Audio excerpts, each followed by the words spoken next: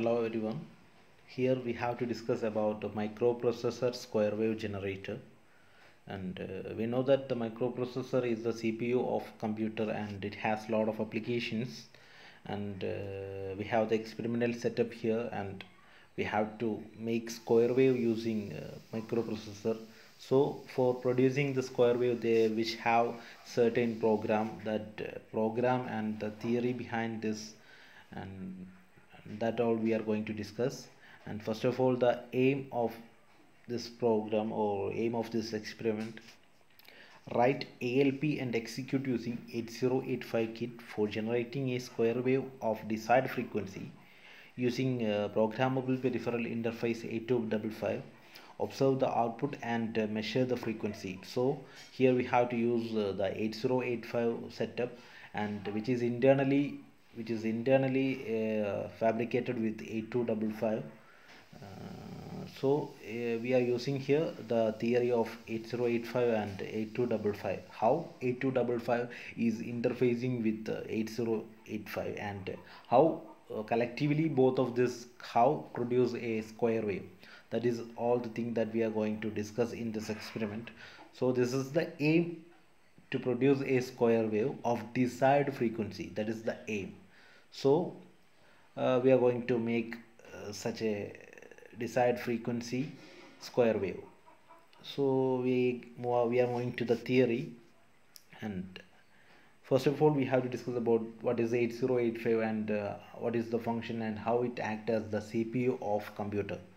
So 8085 is generally pronounced as 8085 microprocessor and uh, it is an 8-bit microprocessor designed by Intel. That is why we are calling it as Intel 8085 and uh, it is it is uh, designed in 1977 using NMOS technology. And which is a, which is a 8-bit data bus uh, which has a 8-bit data bus and a 16-bit address bus and 16-bit program counter 16-bit stack pointer uh, Uh, these all are the special purpose registers that we will discuss in architecture. And uh, six uh, general purpose registers like uh, B, C, D, E, H, L and which require a VCC of positive 5 volt supply and uh, clock cycle 3.2 megahertz. And the clock speed is about 3 megahertz sorry the clock cycle is about 320 nanosecond and addition to this uh, which include the 8085 include having the 80 instruction that you will discuss in uh, the theory paper. 80 instruction and is, there's an instruction set for 8085 and after that which have 246 opcodes and these all are the additional configuration of 8085 and 8085 consists of uh, following functional unit accumulator and which is uh, it's an 8-bit register used to perform arithmetic and logical uh, operations uh, and uh, of course the accumulator will act as one of the operand in the operation and uh, which will store the temporary data or the temporary result in accumulator itself and the second unit is arithmetic and logic unit and arithmetic and logic unit uh, perform the arithmetic and logical operation like addition subtraction multiplication division logical operation like and or xor that kind of operations are done by using arithmetic and logic unit. And uh, next one is general purpose register. We have six general purpose register b c d e h l. And generally uh, some of them occur as pair. B and c uh, collectively make a 16-bit register pair and DE collectively make a 16-bit register pair and H and L produce uh, a register pair that is also a 16-bit register pair. So the registers can work in pair to hold 16-bit data and uh, their pairing combination is like BC, BC, DE and HL. And uh, the program counter program counter is generally known as pc and the specification of pc and which is the special purpose register and it has 16 bit it's a 16 bit register also. It uh, store the next instruction to be executed that is the speciality of program counter and stack pointer is uh, it is the uh, collection of uh, it's the collection of memory locations called stack and it is also a special purpose register and it is a 16 bit register. So the special purpose register i- is uh, not accessed by user. It is accessing uh, by the microprocessor itself. So we cannot uh, program or we cannot change we cannot make changes in a program counter or stack pointer like special purpose register. And temporary register is there which is an 8 bit register which hold the temporary data. And uh, there are flag registers for uh, 8085 the flag registers include sign flag zero flag auxiliary flag uh, parity flag and carry flag. And the figure which is corresponds to the 8 bit representation are given here. And uh, D0 correspond to carry flag and uh, D2 correspond to parity flag and D4 correspond to auxiliary carry flag. 0 correspond to 0 as a D6 correspond to 0 flag and D7 correspond to sign flag. And there are instruction registers and decoder the instruction registers receive the instruction and uh, uh, after that uh, the instruction decoder decoder decode the instruction. After decoding it is given to the timing and control unit. And actually the timing and control unit is generally known as the cpu or main part of the cpu so which produce some kind of control signal or timing signal which include control signal status signal dma signal reset signal. And there are the interrupt controls uh, the interrupt the most common interrupt in uh, 8085 are intr reset uh, uh, restart 7.5 rst is 6.5 rst 5.5 and trap. And it, he, here the trap have the highest priority between this five interrupt signals. There are serial interrupt out so serial input control and uh, serial output control which is shortly known as sid and sod and uh, which uh, which having address buffer and data buffer. Address bus and data bus which is 16 bit that we will discuss in architecture and this is the architecture of intel 8085 the you can see an 8 bit internal data bus which is horizontally placed. And to that uh, to that horizontally placed data bus uh, we are connecting the accumulator uh, which is bidirectional and temporary register flip flop uh, flip flop means the status flags and instruction register. And uh, following to the instruction register there is instruction decoder and which is connected to timing and control unit. Accumulator and temporary register are connected to oh, the arithmetic and logical unit. And the result is put back inside the uh, internal data bus. Mm, and there are the general purpose register and uh, like bcdehl and also the special purpose registers like uh, stack pointer program counter increment or decrement counter and there is data buffer and address buffer. These all include the architecture of intel 805 that we use, that we will discuss in the theory papers. And this is the pin diagram of 8085 uh, generally the 8085 is a 40 pin ic package. Uh, and uh, this is the explanation of this pin diagram. First of all, first one is address bus a8 to a15 the first a8 to a15 which is bidirectional. And uh, next one is data bus AD0 to AD7 it carries the least significant 8 bit address data bus uh, control and status signal which include the three status signal. Uh, we have three status signals like uh, read write and ALE read write and ALE is the arithmetic uh, sorry ALE is the address latch enable so there are three status signals uh, like uh, IO bar M, uh, S0, uh, and S1. And IO bar M bar, um, uh, IO bar M bar, IO bar M bar is the this is signal is used to differentiate between IO and memory operation. And if it is the IO operation, the IO bar is high, and it is the memory operation in memory operation memory is high. And S1 and S0 these signal are used to identify the type of current operation.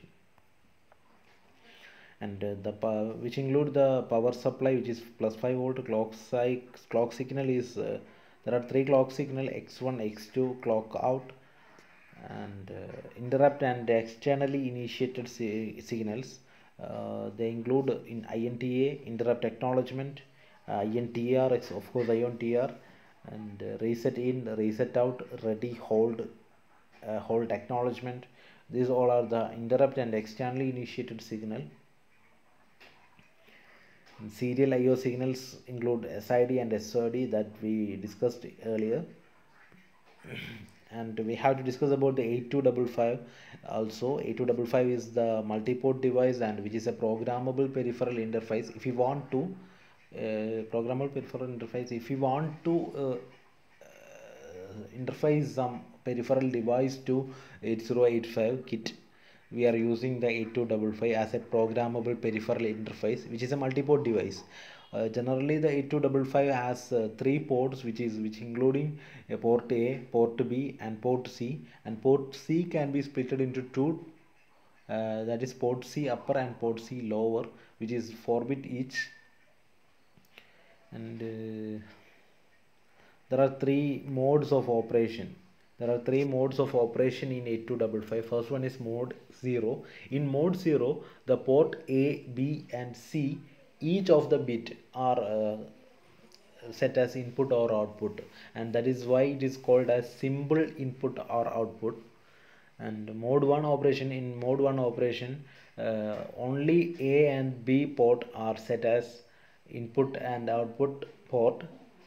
Uh, that is why it is called a strobed input or output port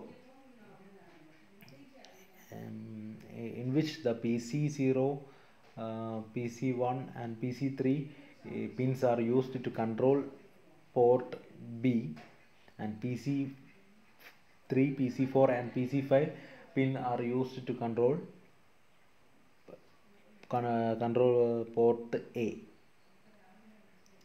so next one is mode 2 operation. In mode 2 operation which is only for port a the port a is that as input or output. In mode 2 operation the other ports port b and port c are used as uh, uh, port b and port c are uh, operating in mode 0 or mode 1 and this is the pin diagram of 8255 here only we use in this experiment in we are only use the 26 pins. This is actually 40 pin IC package. We are only using the 26 pins of this uh, which include the for three ports which having 24 pin. And along with that we are using VCC and ground. These two pin also included with this. Uh, so uh, all total we only require 26 pins for this experiment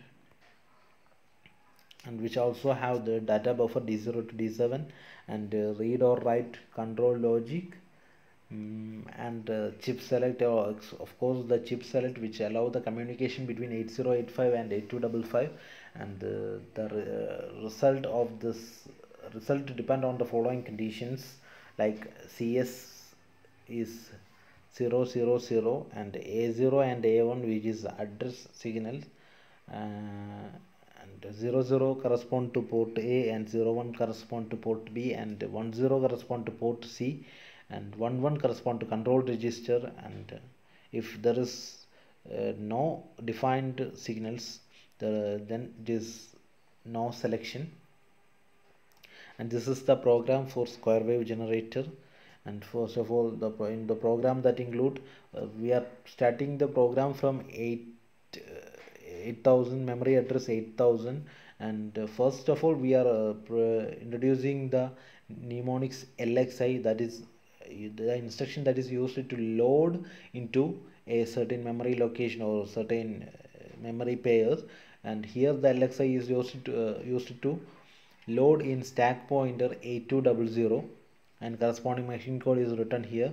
And then move it into the uh, accumulator to control a to get a control word 98h and after that uh, which is the port is initialized that instruction is out 03 and after that MVI A00H so uh, first of all the um, accumulator is set as the low. That is correspond to 00 0 and after that uh, the port is uh, make pb0 low the out 01 and uh, after that a call a delay a call a delay to work call delay to 8100 that you can see under the machine code. Um, call delay called to 8100 there you can start the subroutine here 8100 and uh, from subroutine uh, load 0a into uh, the hexadecimal number which is correspond to decimal value 10 and that 10 value is uh, loaded into b. And after that decrement the b. And uh, jump to the loop 2 jnz is the instruction which correspond to jump and then return and return to where return to 800e location and uh, memory location is uh, and accumulator is loaded with 0 1 and which is the uh, which is correspond to high and uh, port is initialized and delay uh, delay is called to 8107 and second delay is called to the location sub into the subroutine 8107 that is uh, in 8107 the port b port c is loaded with 0a and then decrement uh, c after that uh, jump to the loop 3 and return to the return to the main program and uh, after that uh, returning the main program the second cycle is returned. After that jump jump to the loop 1 and this process continues. And uh, finally at the memory location 80 memory address 8018 we are uh, calling halt. Which is covered the machine code corresponding to this is uh, 76 this is all about the program of uh, square wave generator and we have to discuss about the calculation of t state and we already told that there are there is an upper half and lower half for uh, square wave. So first um, this is the calculation of t state first of all mvi out call these are the program MVA out and call. These are the programs uh, that we do for square wave generation. And after that MVA DCR JNZ return. These all are the subroutine.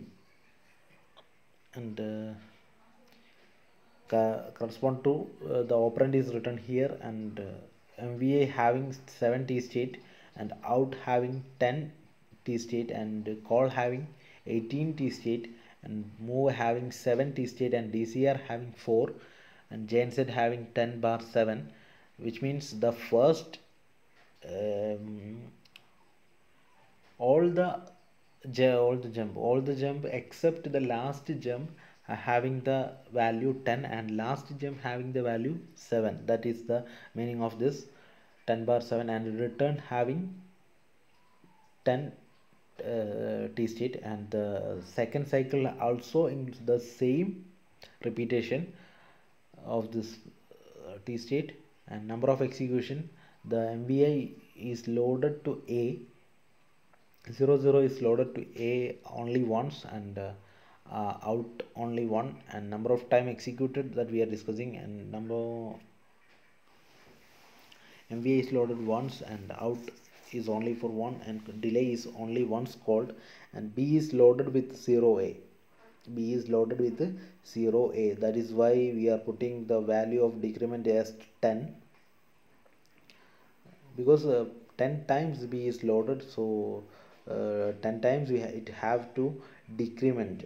And JNZ is also 10 and uh, return is uh, for once and this is the uh, total number of t state this is nothing but 7 into 1 equal to 7 10 into 1 equal to 10 and like that kind of this. And total we are getting uh, 189 189 uh, total we are getting 189 t number of execution number of t state uh, total we are getting 189 number of t state for one cycle. So here we have two cycles. So uh, double the 189 we get 378 so we have to get total time period. For total time period we are uh, multiplying 378 with uh, the clock cycle 320 nanosecond. That is how we are getting t equal to 1.2 into 10 raised to minus 4 second. This is the time period of square wave generator. And uh, we can measure the frequency. We can uh, compare the frequency uh, frequency equal to 1 by t. That is equal to that is almost about 8267 kilohertz. 8.267 kilohertz. So we can measure the observed t from the CRO that is the output of us. And this is how this is the whole method that we are doing to produce a square wave using microprocessor. And uh, that's all about my topic. Thank you